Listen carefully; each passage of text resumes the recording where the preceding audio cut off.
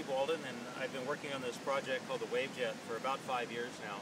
And what we've tried to do is to be able to have an assisted paddle to be able to help you get into the waves and have more fun in the water.